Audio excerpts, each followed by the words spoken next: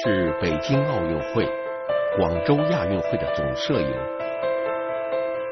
记录时代光影，定格岁月痕迹。摄影家林毅。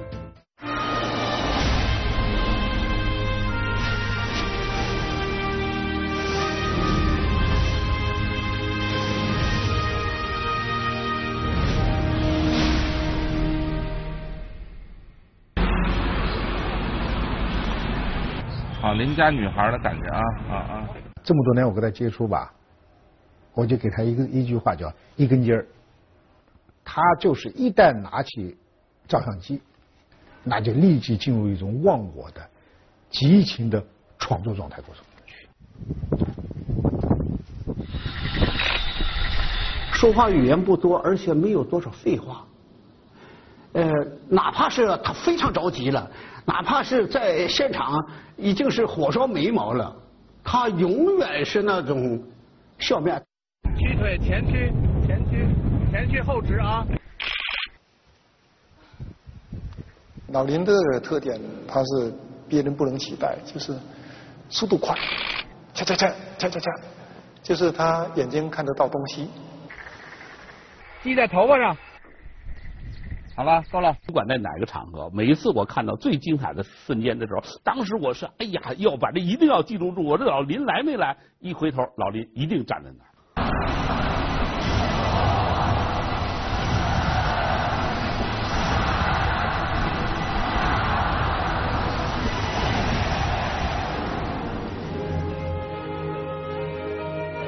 每一张精彩绝伦的照片后面，都有一位摄影师。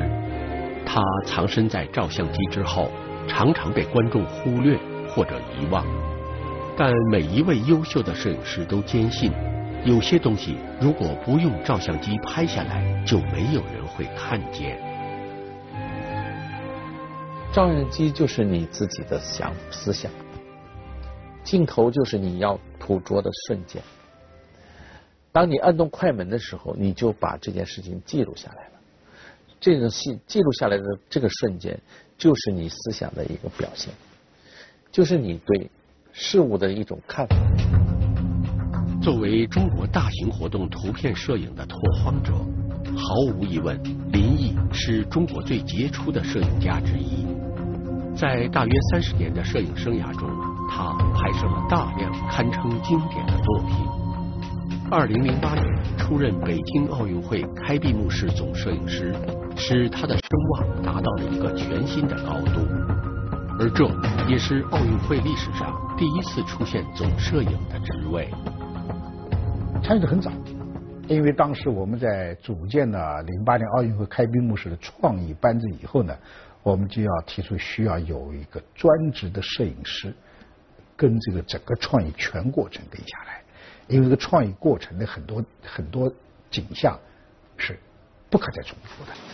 低于我的想象，现在听起来还停留在动作本身之前。为什么说这个会特别重要？一天就起来了，他已经了解了。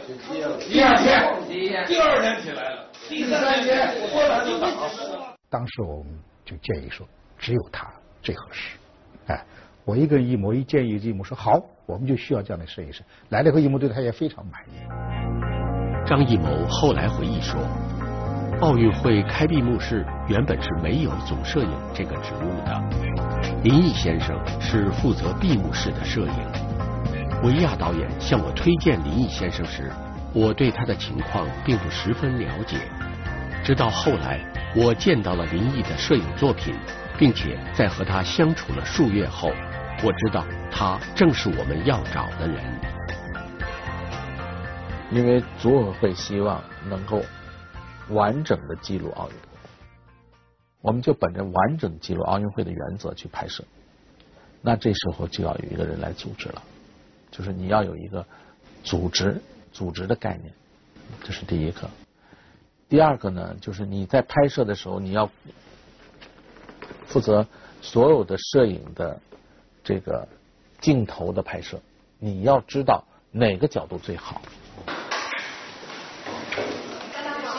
奥运会开闭幕式总导演张艺谋在创作上极为挑剔，从筹备阶段开始，他对图片的要求就非常高。有时他需要根据图片展现的鸟巢视觉效果来研究具体创意，还会通过彩排时拍摄的图片检验创意的冲击力和现代感。为了满足导演的要求，林毅去过鸟巢的每一个角落，反复研究过不同的角度和视角，设计了无数个拍摄方案。当我们走进鸟巢时，他早早就在那儿了。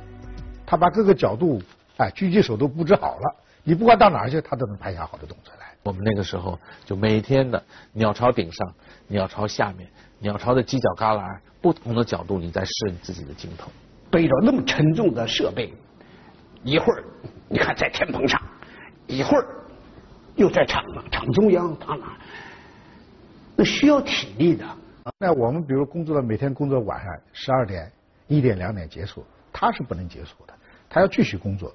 他把一天拍下来的上万张照片要全部存入库。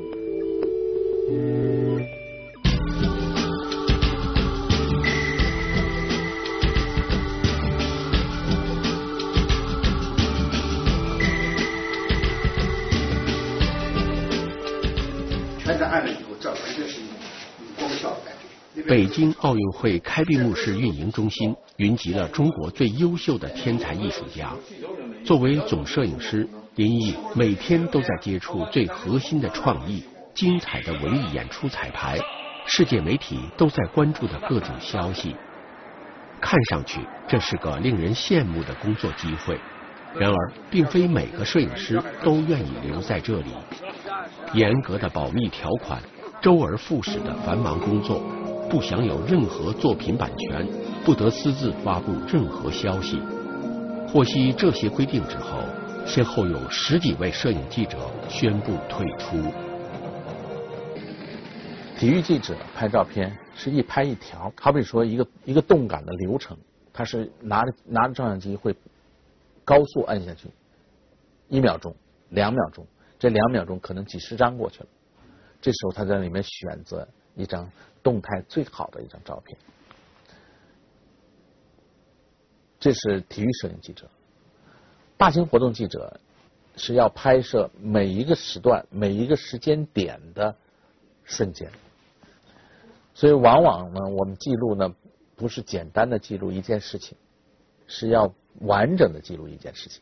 所以在完整的记录这件事情的时候，你就要在从这个点到这个点的每一个完整的图片要有。奥运会期间参与我们整个创意策划、排练、演出工作的摄影师、摄影工作者有很多很多，上百位了。他作为总摄影的，为什么不一样呢？就是他除了需要用镜头把精彩东西抓来以外，他的心中还要有一个什么呢？还有一个总体布局。别的奥运会。可能不能做到的事儿，我们北京奥运会这个做到了。那么这里边，我说不得不说到老林啊，林毅先生啊，林毅先生呢，他不仅是自己要找到这个独特的角度，呃，独特的瞬间，而且他还要领导一个摄影团队，要让大家都要找到独特的角度、独特的瞬间。就经过他的手指头。可以说记录了整个奥运会从开始创意到最后辉煌成功的所有过程、所有的角度和所有的细节。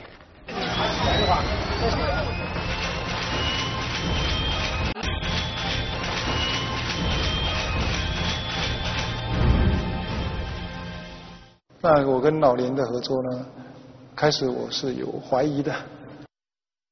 蔡国强是国际知名的华人艺术家。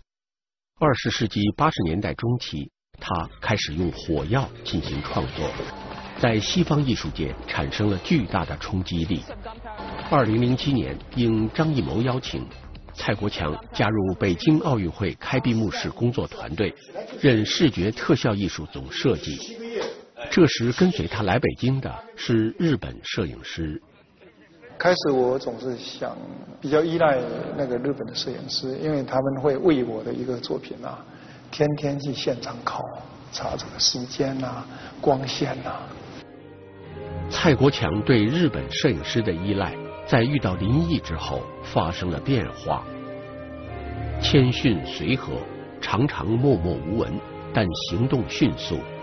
从林毅身上，蔡国强不仅看到了艺术家的才华和激情，更是看到了职业摄影师的敬业精神。敢拼命！我第一次做那个大脚印的时候，因为我们当时是用三十六个炮管。这都是军队那个装甲兵部队的那个兵工厂，专门生产那个装甲车上的炮管的，组成一个脚印，这冲唰就上去了，那声音那地板那震动都很大。啊，我突然想起说，应该在中间设一个摄影师，也设一个设一个镜头，看这个轨道是怎么跑上去的。可以研究它的那个漂移啊，到什么程度了？这个蛋为什么就会飘？我那时候什么都没想，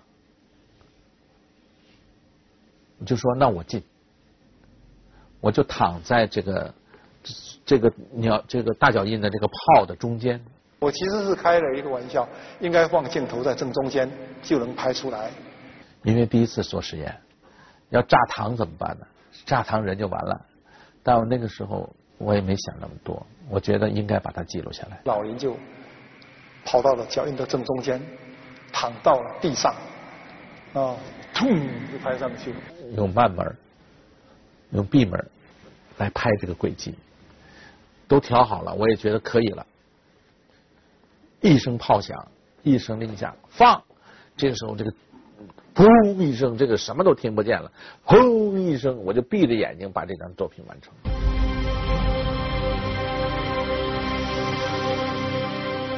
一炸完了，我们赶快看老林，没问题吧？没问题，没事，就站起来了。因为那个发射的时候，那个三十六个炮，那个撞击地面的那个震动很厉害。我们是站了一两米一两百米外，那个地都砰都撞一下。我所亲历亲历几次看他发生意外摔倒，哎，爬楼梯的时候脚底打滑的摔倒。他那个体重比较重嘛，摔到地上都是很沉的、很危险的。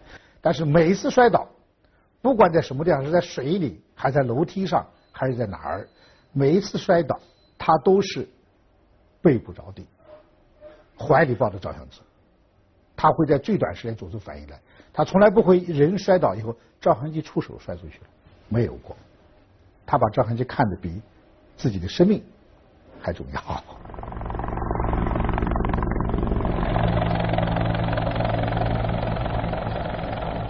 二零零八年北京奥运会结束后，蔡国强与林毅的合作便一直没有中断。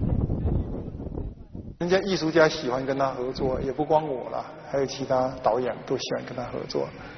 有一个东西，他主要就是很愿意听艺术家的观念是什么，他这一个作品在传达什么意思，而且有什么特点。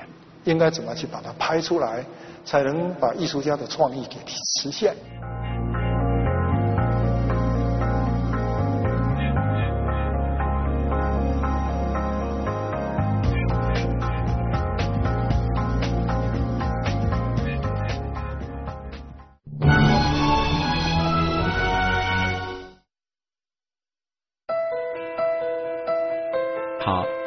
张艺谋眼里的奥运英雄。一张照片让轮椅上的女孩重新飞翔。摄影家林毅。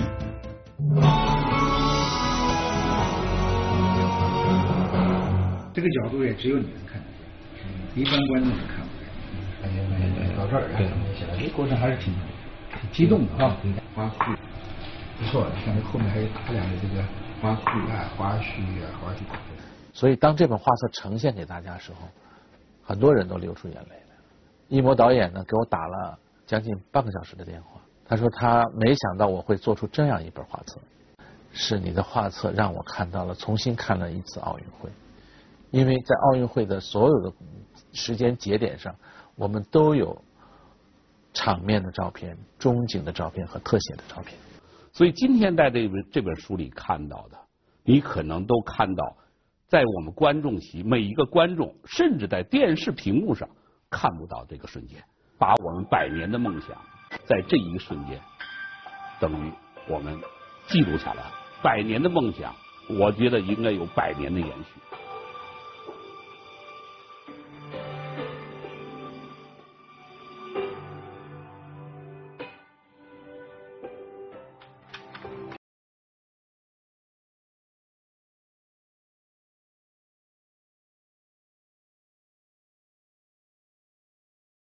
他的照片库存量不是以千张万张了，是几十万甚至上百万张这种记录了。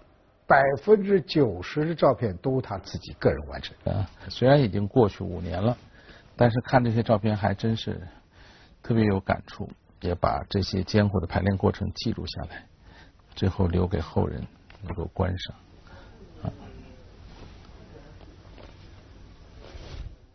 这是林毅从没有公开发表过的一张照片，拍摄时间是二零零七年七月二十七日晚，地点是国家体育场鸟巢，正在排演的是开幕式独舞节目《丝路》，女演员是刘岩。在这张照片拍摄完成两秒钟后，刘岩从舞台上跌落。那天我就在鸟巢的底下。开始加机器拍他，拍着拍着拍着拍着拍着，刘岩就掉下去了。那个瞬间，所有的镜头都有。哎呀，我一看坏了，我说刘岩摔下来了。这时候我就把相机扔在那儿，就拿了一个相机就冲进冲进要冲冲进去。当时那个时候划桨的这些战士还不让我进，说我们在表演呢。我说停吧，已经停了。说有人出出事故了。后来导演组上面可能是一谋导演说一句话，让老林进去，我就进去了。进去以后，我就问刘岩，我说刘岩你怎么样？刘岩说我下身没知觉了。这个时候呢，我还一个手拉着他手，我说你要坚强，有什么事儿没有？我一个手还拿着照相机在拍照片。我那个职业的当时的职业想法，这个这个瞬间虽然很残酷，但是这个瞬间，我觉得应该留下。因为你要记录当时的这个情况。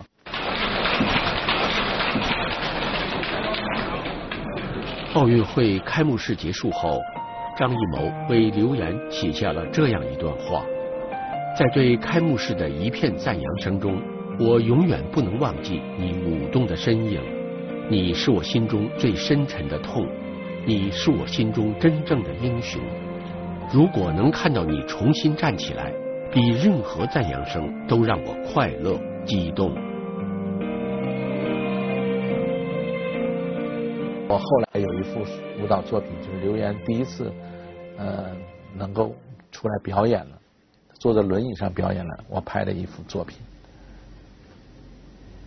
就是我要飞，我要飞翔。我是用两个男男演员的动感加刘岩的一个舞蹈的姿态。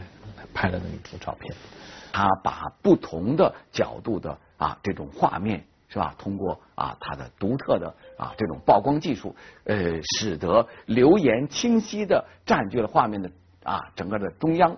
但是舞者为为他跟他一起跳舞的舞者，为他形成了一个在空间飞翔的一个啊一个很好的画面。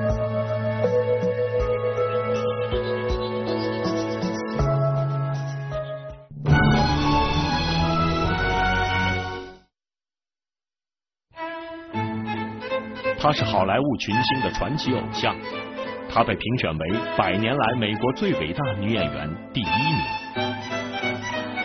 好莱坞影星系列之凯瑟琳·赫本。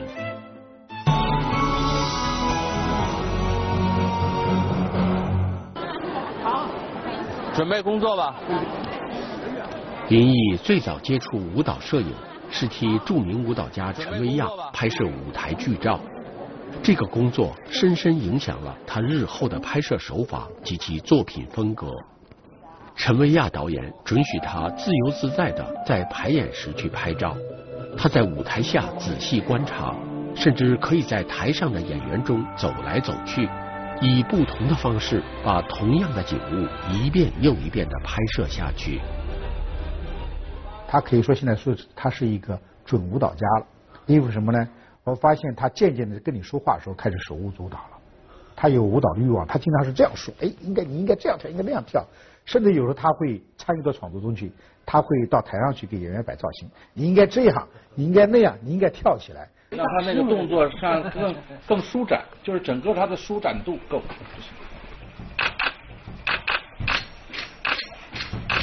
对，对，能那一，哎，对。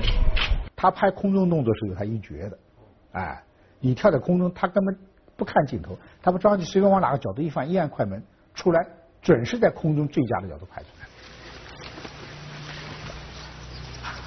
我是不是？可以啊，可以。先慢一下一会儿。他的影像是透过静止的影像的画面去捕捉舞蹈的流动的美。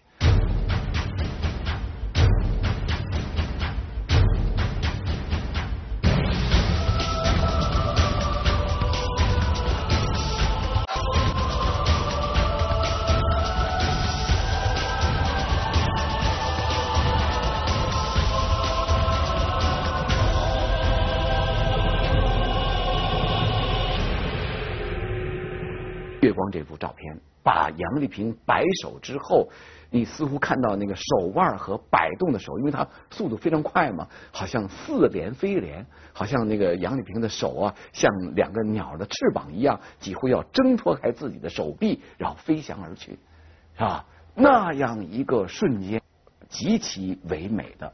但是如果你在现场看杨丽萍的表演的话，因为她。摆动的太快了，太迅速了。你对那种静止的造型当中的杨丽萍舞姿的独特的美，你可能是肉眼常规的舞蹈的欣赏是拿不住的。他用舞蹈的情感和韵律在拍摄照片，所以凡是经过他拍摄的这些舞蹈舞剧，我的作我的很多作品啊，照片一拿来我都爱不释手，哎，都是那种凝固了最精彩的一瞬间。越拍越有兴趣。而越拍越难，越拍越难，越拍越难。舞蹈摄影其实是很难的，你要想把舞蹈拍得非常出色啊，让这舞蹈能够动起来，动与静结合的图片，那是真难。近些年，林毅的名气比过去大了许多，与他合作的艺术家和著名机构也越来越多。但在荣誉和光环的背后，却是摄影家自己在创作上的困惑。他不愿意在正统摄影家的位置上停留，但创新之路却是如此艰难。有一种流动的感觉，一是有一个流动的感觉，一二是有一个迸发起来的感觉。哎，这做两次曝光合成就行。有一次机会呢，我跟都先生，嗯，都本基先生呢。讨论这个问题，然后我们俩一拍即合，说咱俩创作一幅作品。我们都是一种一属于一种不甘寂寞的、不墨守成规的这样的艺术家。我们最起码我们是有这个共性。我去拍一个倒影，您在这个倒影上做加工，来完成一幅摄影一幅作品。我想可能这种是一种尝试，也是一种。就跟别的人不太一样的一种尝试。我很多东西我是在他的基础上，我只是给他做一些补充。整个的大面积的一些一些背景的的处理呀，还是靠他的照片说话。只有这种探索的过程，才能会产生一种比较优秀的一个成作品出来。我我觉得它形成一种系列的感觉出来，我们就会给世人的一种美的一种展示。呃，似是而非的那种。嗯。咱们搞一点那个印象。